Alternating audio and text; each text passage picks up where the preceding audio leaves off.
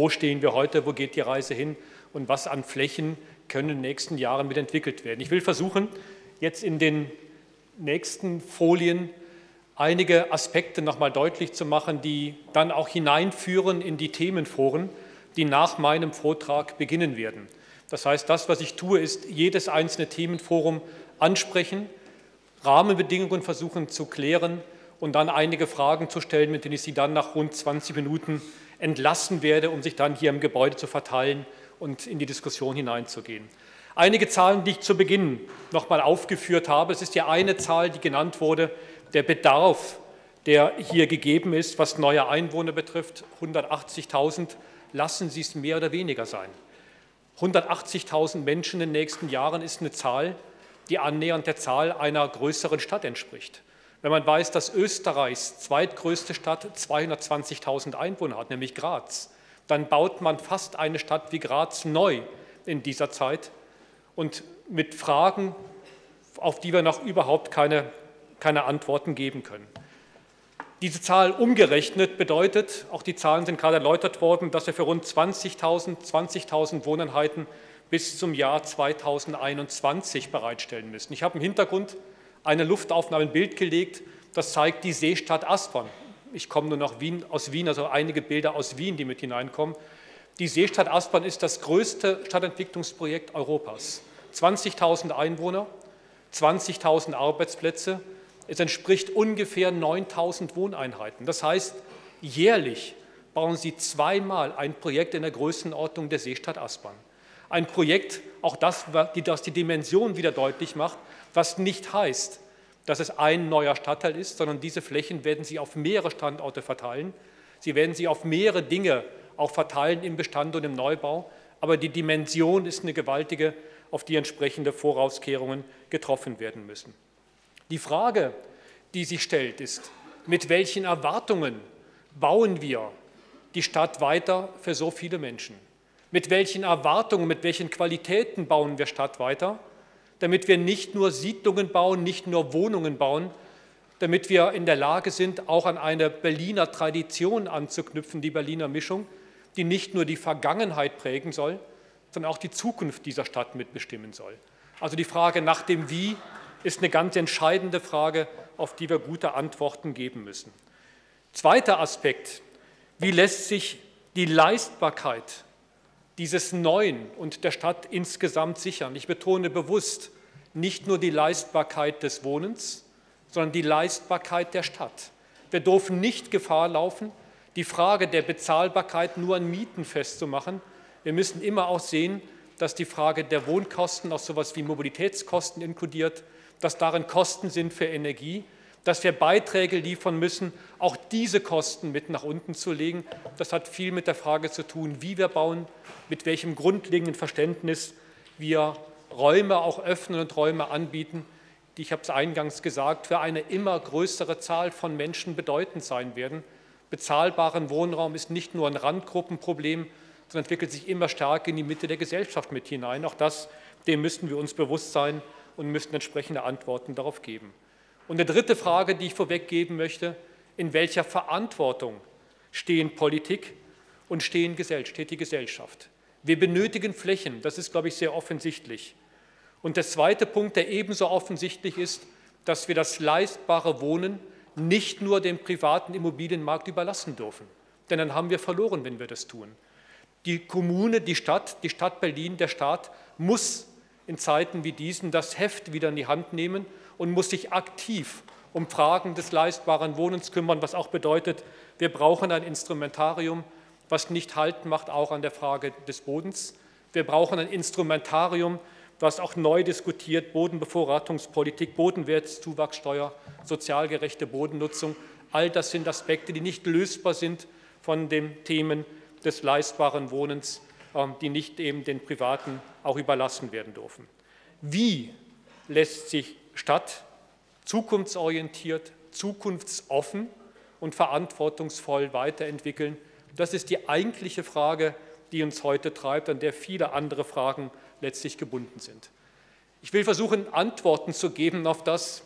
Ein Kollege in Wien sprach mich mal vor einiger Zeit an. Er hat einen großen Auftrag bekommen, eine neue Stadt in Russland zu bauen für einen russischen Oligarchen.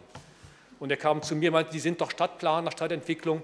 Gibt es nicht ein Buch, in dem drin steht, wie man eine solche Stadt baut? Und da meinte ich, ja, es gäbe so ein Buch. Das Buch hat den Titel Wie baut man eine Stadt? Da meinte der Kollege, genau das Buch habe ich gesucht. Da habe ich ihm das gezeigt und das Buch hat nur leere Seiten. Es hat nur Fragen, dieses Buch, Fragen, wie ich Ihnen gerade auch aufgerufen habe. Ähm, er war ziemlich irritiert und ist dann irgendwann gegangen. Ich glaube, die Stadt ist bis heute nicht gebaut, ähm, was möglicherweise auch gut ist, dass sie nicht gebaut ist, diese Stadt. Aber ich habe dann nach Antworten gesucht und eine wunderbare Antwort auf diese Frage gibt Karl Kraus. Der sagt, ich verlange von der Stadt, in der ich leben soll, Asphalt, Straßenspülung, Hausdurchschlüssel, Luftheizung, Warmwasserleitung, gemütlich bin ich selbst. Was Karl Kraus zum Ausdruck bringt, ist die Frage, welche Verantwortung trägt der Staat? Welche Verantwortung trägt die Stadt für die Entwicklung des Wohnungsbaus und für die Entwicklung der Stadt? Und da geht es darum, man redet auch von der Hardware, die man bereitstellt, von Strukturen, die man schafft, von Angeboten, die man macht, in der sich Stadt entwickeln kann, in der sich Stadtgesellschaft entwickeln kann. Und das ist das, was ich eben mal unter zukunftsoffen beschrieben habe, Strukturen zu entwickeln, die nicht festgelegt sind, die unveränderlich sind, sondern die uns Raum geben für künftige Veränderungen. Eine großartige Aufgabe, ähm, die, glaube ich, vieles auch erfordert, damit wir uns darüber Gedanken machen können.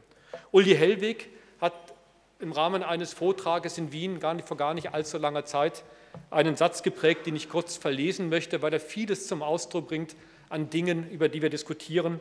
Mit welchen städtebaulichen Modellen, mit welchen Planungsstrategien und mit welchen Umsetzungs- und Finanzierungsstrategien lassen sich nicht nur der Wohnungsbedarf befriedigen, sondern wie antworten wir heute auf neue Lebensstile, auf hybride Arbeitsformen, die zunehmende Digitalisierung der Lebenswelten und die Anforderungen an eine klimaneutrale Stadtentwicklung. Auch das macht deutlich, wir dürfen nicht Gefahr laufen, die Frage der Entwicklung der Stadt nur auf die Wohnungsfrage zu reduzieren.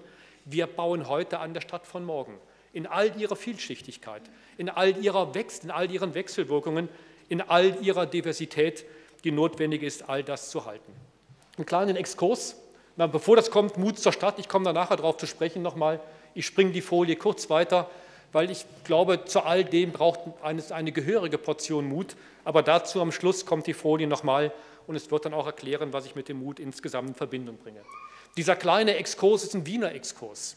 Und dieser kleine Exkurs beginnt in den 20er Jahren des letzten Jahrhunderts. Der rote Mann spricht. Es ist eines der schönsten Werbesujets, Werbeplakate, die, die ich kenne. Die Berliner hatten ein anderes, die glücklichen Bewohner der Britzer Siedlungen wählen selbstverständlich SPD, denen sie ihre prächtigen Heime verdanken. Da fliegt so ein Flugzeug über die Britzer Hufeisensiedlung und da fliegen diese Flugblätter runter. Die Wiener haben ein besseres Plakat gehabt. Der rote Mann spricht. Ach, bin weitergedrückt. Hier ist der rote Mann. Der rote Mann spricht. Das ist das Plakat. Ich habe ich hab hinten keine Augen das habe ich versprochen, das habe ich gehalten und das verspreche ich euch. Und der Berg der Häuser wird immer größer. Es ist die Geburtsstunde des Roten Wiens. Es ist die Geburtsstunde dessen, was wir heute neu diskutieren müssen in vielen Städten. Staatliche Verantwortung zu übernehmen für den Wohnungsbau, staatliche Verantwortung zu übernehmen für das leistbare Wohnen. Es ist das, was in den 20er Jahren begonnen wurde und was in Wien bis heute nicht preisgegeben wurde. Das mächtigste Ressort neben dem Sozialen ist das Wohnbauressort in dieser Stadt. Und da ist eine Verantwortung mit verbunden. Und da ist eine Verantwortung mit, und da ist eine Verantwortung mit verbunden, die bis heute letztlich bleibt und die vor allen Dingen wichtig ist vor dem Hintergrund dieser Zahlen, nämlich auch Wien wächst in der Größenordnung, die durchaus vergleichbar ist mit der, die wir hier in Berlin diskutieren. 236.000 Einwohner, das ist die Stadt Graz, ähm, die hier in dieser Zeit neu gebaut wird. Auch hier gibt es einen Entwicklungsplan in dieser Stadt, der lang und sehr intensiv diskutiert wurde. Auch hier sind Standorte dokumentiert, die nicht nur die neuen Baugebiete in den Randbereichen der Stadt mitentwickeln, sondern die auch in den Inneren der Stadt ehemalige Bahnflächen zum Gegenstand machen, die Siedlungen der 50er Jahre, der 60er Jahre zum Gegenstand machen über Aufstockungen, weil hier am ehesten im Bestand die Fragen der Leistbarkeit des Wohnens beantwortbar sind. Also auch das sind Aspekte, die hier eine ganz entscheidende Rolle spielen. Und ein Projekt ist sicherlich das, was ich eben ganz kurz genannt habe, die Seestadt Aspern. Ich traue mich fast gar nicht zu sagen, das ist der alte Flughafen, ähm, den Wien hat. Ich glaube, das, Das Flughafenthema ist in Berlin ein ganz besonderes Thema. Ähm, der ehemalige Flughafen, 20.000 Einwohner, 20.000 Arbeitsplätze, ein Stadtteil, der entwickelt wird, der im ersten Bauabschnitt nur ausschließlich Projekte im geförderten Wohnungsbau umfasst, der ausschließlich Projekte mit realisiert mit einer Miete von 7,50 Euro im Neubau, der ausschließlich versucht, Stadt zu bauen, und zwar in einer dichten, in einem urbanen Verständnis, was auch bedeutet, ein großes Augenmerk auf die öffentlichen Räume zu legen, ein großes Augenmerk darauf zu richten, dass nicht nur eine Schlafstadt entsteht, sondern dass gerade die Erdgeschosszonen, die Sockelzonen gewerbliche Nutzungen umfassen. Der schönste Buchladen, den Wien mittlerweile zu bieten hat, liegt im Neubau in der Seestadt Aspern. Projekte, die notwendig sind und die dahinter steht eine enorme Energie, denn solche Strukturen kommen nicht von alleine. Solche Strukturen müssen vorbereitet werden, die müssen finanziert werden. Ähm, das würde jetzt viel zu weit führen, in Einzelheiten reinzugehen, aber es sind unglaublich wichtige Aspekte. Und das hört nicht auf beim Bauen, das geht weiter in Mobilitätskonzepte mit hinein, dass man versucht, die Menschen möglichst früh auch darauf zu beziehen, dass man nicht das Auto benutzt, um zum Einkaufen zu fahren, sondern dass man sehr früh andere Mobilitätskonzepte entwickelt, die Seestadtcard, dass wir mit Fahrrädern dort arbeiten, mit Carsharing-Projekten, all jene Dinge, die selbstverständlich sein müssten für Stadtentwicklung und Städtebau in der heutigen Zeit. Und der letzte Punkt, auch das ist, glaube ich, etwas, was wichtig ist. Ich habe mal im Aspern-Beirat, ich habe einige Jahre dort den Vorsitz gehabt, ähm, den Satz mitgeprägt, Stadt ist nicht, sie wird. Das heißt, diese Prozesse des Stadtwerdens zu begleiten, mit Impulsen zu versehen, über Baugruppen, die mit einbezogen sind, Akzente zu setzen, Pioniere mit hineinzuholen. All das sind Dinge, die zusammengehen müssen mit der Bereitstellung von Flächen und mit Fragen eben auch der Leistbarkeit des Wohnens. Zu den Themenforen, wo ich jetzt zurückkommen möchte nach dem kleinen Exkurs, der deutlich macht am Beispiel Wien, dass wir ein unglaublich ausgeprägtes Instrumentarium haben, das aktualisiert werden muss auf die neuen Anforderungen, das ständig diskutiert werden muss. Auch in Wien ist es eben so, dass nicht alles rosig ist, was man meint, was rosig sein müsste. Auch da gibt es enorme Friktionen, enorme politische Debatten um künftige Ausrichtungen, enorme Verschiebungen auch, was die Wahlergebnisse betrifft. Das ist fast europaweit mitgegeben. Trotzdem, man hält an diesem Instrument fest, was nicht eins zu eins auf Berlin übertragbar ist. Und genau da stehen wir auch. Die Frage ist nicht, wie kann das Wiener Modell kopiert werden, es wäre töricht, das zu versuchen, sondern wie kann Berlin einen eigenen Weg gehen? Wie können unter den heutigen Voraussetzungen, die man hier hat, wiederum auch der soziale Wohnungsbau zurückgewonnen werden als zentrales Handlungsfeld der Stadtentwicklung? Wir werden das in vier Themenforen diskutieren. Und das erste Themenforum befasst sich mit der Frage der Entwicklung inklusiver Stadtquartiere. Und anknüpfen an Frau Lomscher, die ganz zu Beginn sagte, die Berliner Mischung ist das, was wir unter, ich übertrage das jetzt, unter inklusiven Quartieren verstehen, sozial gemischt, funktional gemischt. Wie bauen wir solche Standorte weiter? Mit welchem selbstverständlich bauen wir sie weiter? Und auch da nochmal anknüpfend an einem Zitat von Uli Hellwig, der sagte, Wohnungen können nur so gut sein wie ihre Quartiere. Fragen, die wir doch diskutieren in dieser Arbeitsgruppe. Welche Anforderungen werden an Wohnbauflächen sowie an das Bauen und Wohnen für neue, für inklusive Quartiere, für eine neue Berliner Mischung gestellt. Welche Win-Win-Situationen, welche Mehrwerte müssen für den Neubau von Quartieren entstehen, damit sie nicht nur auf sich bezogen sind, sondern vielleicht auch Beiträge leisten für die Umgebung, Beiträge leisten für eine Weiterentwicklung der Umgebung, gerade was Infrastrukturen betrifft, Bildungseinrichtungen betrifft, Freiräume betrifft, all das, was wir als selbstverständlich an einer Stadt ansehen. Und was sind die gewünschten Nutzer, Akteurs- und Bauherrenstrukturen, die hier zum Einsatz kommen können? Zweites Thema, das Forum 2, das Entwickeln im Bestand. Wir werden nicht davon ausgehen können, dass all das, was neu gebaut wird, irgendwo am Rand der Stadt, auf alten Flughäfen oder sonst irgendwo entsteht, sondern einiges von dem wird auch in den Bestand der Stadt mit hineingehen. Es gibt viele Untersuchungen, die belegen aus verschiedensten Aspekten, dass die Anforderungen des leistbaren Wohnens am ehesten im Bestand gedeckt werden können. Also auch hier müssten wir über Weiterentwicklungsmodelle diskutieren. Auch hier müssten wir darüber reden, nicht nur baulich nachzuverdichten, sondern auch nutzungsstrukturell nachzuverdichten. Auch hier müssten wir jene Siedlungen in den Blick nehmen, die in den 50er, 60er, 70er Jahren gebaut wurden, mit der Möglichkeit, sie eben auf neue Anforderungen der inklusiven Stadt mit vorzubereiten. Noch dazu einige Fragen. Welche planerischen und städtebaulichen Ansätze sehen Sie in der Entwicklung, in der Verdichtung, nutzungsstrukturell baulich von solchen Bestandsquartieren? Wie lässt sich der Anspruch der doppelten Innenentwicklung, also nicht nur baulich zu entwickeln, sondern auch Freiraum zu entwickeln in diesen in den wie lässt sich dieser Anspruch mit realisieren? Was kann getan werden, um das nachbarschaftliche Miteinander bei baulichen Veränderungen im Bestand weiter zu befördern? Und wer muss was wann tun? Also immer die Frage der Akteure, die auch hier eine wichtige Rolle spielt. Dritte Gruppe, inklusives Wohnen leistbar machen. Ich habe das eingangs schon mehrfach gesagt. Der deregulierte Immobilienmarkt hat die aktuelle Wohnungsknappheit nicht nur nicht verhindert, er hat ihn sogar verschärft. Es werden ständig Wohnungen gebaut, aber nicht in einem Segment, die wir wirklich dem leistbaren Wohnen zurechnen müssen, sondern es werden Wohnungen gebaut im hochpreisigen Segment, weil sie die höchste Rendite versprechen. Das ist das Geschäft auch von privaten Investoren. Deshalb machen wir das Plädoyer. Wir müssten wiederum die kommunalen Wohnungsbaugesellschaften zurückbringen in das Handeln. Wir müssen sie befähigen und ausstatten mit Finanzen, wieder tätig zu werden, auch im Kontext des leistbaren Wohnens. Staat und Kommune müssen das Heft wieder in die Hand nehmen. Das bedeutet eben, dass die Wohnungsfrage nicht mehr nur durch den Markt, sondern nur durch kommunale, staatliche und auch zivilgesellschaftliche Verantwortung lösbar sein wird.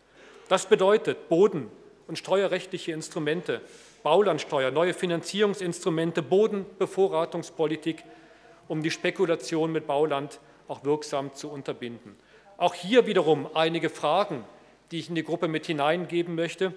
Wie, wer muss und wer kann welchen Beitrag zur Sicherung der dauerhaften Leistbarkeit von Wohnen leisten? Wer sind die richtigen Partner dieser Entwicklung, wenn es nicht nur private oder nicht private Investoren mit sein können? Was sind Anreize und Vorgaben für private Investoren? Und wie kann man ihnen ähnlich wie Zuckerbrot und Peitsche auch Anstöße geben, dass sie etwas leisten für die Gesellschaft insgesamt, dass sie Beiträge leisten auch für den sozialen Wohnungsbau, dass sie Beiträge leisten für die Entwicklung der benötigten Infrastrukturen, ob im Bereich Bildung, soziale Infrastrukturen, sei dahingestellt. Was braucht es an ergänzenden Maßnahmen und Strategien, um dies entsprechend zu sichern. Ich habe eben den Aspekt eben der Mobilität angesprochen, deren Kosten immer weiter steigen. Auch da müssen wir ansetzen und auch die Mobilitätskosten entsprechend mit in die Überlegungen einbeziehen. Und vierte, die vierte Frage gilt der Mietpolitik. Auch hier ist sicherlich Handlungsbedarf gegeben. Viertens oder vierte, das vierte Themenforum. Wohnungsbau in der wachsenden Stadt benötigt Flächen. Punkt 1. Punkt 2, fehlen die Flächen, steigt der Druck auf den Markt und steigen die Bodenpreise. Eine Mietpreisbremse allein ist wirkungslos, wenn sie nicht die wesentlichen Veranlasser dieser Entwicklung der Preissteigerung, nämlich die Bodenpreissteigerung, zum Thema macht. Also auch hier wiederum sind wir bei der Bodenpolitik angekommen. Es geht darum, Flächenpotenziale in der Stadt zu vertretbaren Preisen zu aktivieren. Und das bedeutet, dass wir darüber diskutieren müssen, die Stadt wieder in die Ankaufspolitik von Flächen hineinzubringen. Wir müssen darüber debattieren, dass wir auch bodenpolitische Grundsatzbeschlüsse benötigen, um Ankaufspolitik zielführend für den Wohnungsbau, für das leistbare Wohnen entsprechend an den Start zu bringen. Es ist der Schlüssel, den wir, glaube ich, haben, weshalb auch der Wiener Wohnungsbau so gut funktioniert, weil man Flächen entsprechend ankauft. Und hier wiederum die Fragen, die ich auflisten möchte.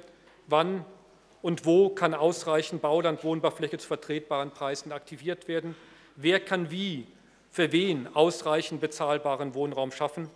Welche Rolle spielen Genossenschaften, kommunale, landeseigene Wohnungsbaugesellschaften und welche auch Baugruppen, die sicherlich mit an den Start gehen werden? Und welche Beiträge kann die Boden- und Liegenschaftspolitik für lebenswerte, für inklusive Quartiere leisten? Das sind vier Gruppen, die wir haben. Diese vier Gruppen werden jetzt hier im Gebäude alle laufen. Sie werden sich gleich dort verteilen können, zuordnen können. Sie können sich durch den Raum bewegen. Ich will Sie noch ganz kurz mit der letzten, der letzten Folie nochmals konfrontieren, jener Mut zur Stadt zu zeigen. Und Mut zur Stadt heißt mehrerlei. Mut zur Stadt adressiert an politische Entscheidungsträger, heißt auch Entscheidungen zu treffen. Wir wissen, dass die Diskussion um neue Standorte eine ist, die nicht konfliktfrei verläuft. Wir wissen, dass hier Kontroversen geführt werden, dass Ängste im Raum sind, dass Vorbehalte gegen Projekte entscheiden. Wir müssen diese Vorbehalte und die Diskussion führen auf einer sehr offenen und sehr frühzeitigen Ebene, aber am Ende muss es Entscheidungen geben, die von jenen getroffen werden müssen, die dafür entsprechend gewählt sind. Also Mut zur Stadt heißt Mut, solche Entscheidungen treffen zu müssen, gerade in der wachsenden Stadt. Mut zur Stadt an die Gesellschaft gerichtet heißt auch, sich auf solche Prozesse einzulassen, heißt auch, sich konstruktiv, kritisch in Diskussionen einzubringen, heißt aber auch, die Parole Not in my backyard mal beiseite zu lassen. Wir brauchen Standorte und auch hier, glaube ich, geht es nur, wenn wir da alle an einem Strick ziehen. Mut zur Stadt heißt Mut zur Stadt als Ort der verdichteten Unterschiedlichkeit, wie Walter Siebel das zum Ausdruck gemacht hat. Stadt heißt auch Kontroverse. Stadt heißt auch Konflikte auszutragen. Stadt heißt auch Vielfalt zu akzeptieren und mit Vielfalt zu arbeiten. Und das braucht es auch. Und wenn wir von Mut zur Stadt reden, heißt das nichts anderes, als dass wir auch immer wieder uns auf diese Debatte einlassen müssen, Entscheidungen treffen müssen, auch wenn sie gelegentlich wehtun. Damit will ich es jetzt belassen. Ich möchte jetzt überleiten in die Gruppen, in das nächste Thema. Wir haben diese vier Fokusgruppen eingerichtet, die ich gerade ganz kurz erwähnt habe. Die Fokusgruppe 1, neue Quartiere bauen, Fokusgruppe 2, im Bestand verdichten, Fokusgruppe 3, Wohnen leistbar machen und Fokusgruppe 4, Flächen aktivieren. Es ist Ihnen freigestellt, wo Sie hingehen. Sie können sich bewegen von einer Fokusgruppe in die andere. Sie können Dinge hinterlassen. Es wird notiert, aufgeschrieben. Es sind Mitarbeiter doch jeweils präsent, die Hilfestellungen geben bei allen Fragen, die auftauchen. Und wo die Fokusgruppen sind, sehen Sie auf diesem Plan. Sie haben so kleine grüne Zettel, Laufzettel auf Ihren Sesseln liegen gehabt die hinten stehen, haben keinen Sessel, damit keine grünen Laufzettel. Deshalb sage ich es Ihnen noch mal ganz kurz. Im ersten Obergeschoss wird die Gruppe Forum 4 agieren. Forum 4 ist eben jene, ähm, die Flächen aktivieren möchte. Hier, das ist das erste Obergeschoss auf der Ebene, wo wir uns gerade befinden. In das nächste Obergeschoss, Sie haben hier eine Stiege, eine Treppe und Sie haben drüben einen Aufzug. Sie können sich entscheiden, was, wie lang die Schlange ist am Aufzug und wie gut ihre Beine und Knie noch tragen. Im nächsten Obergeschoss ist nicht nur die Bar, ähm, die dort eben am Ende aufgebaut wird, sondern hier geht es auch, nein, eine höher, sorry, hier ist die Bar. Also in der Gruppe, der ist nur die Bar in dieser Etage und die Toilette, genau, die ist drüben im vierten Obergeschoss Forum 2 im Bestand verdichten und im fünften Obergeschoss neue Quartiere bauen. Wir haben jetzt ungefähr eine Stunde Zeit, in den Gruppen zu arbeiten. Dann tragen wir all das wieder hier zusammen. Ich entlasse Sie jetzt in die Arbeitsgruppen hinein. Danke erstmal.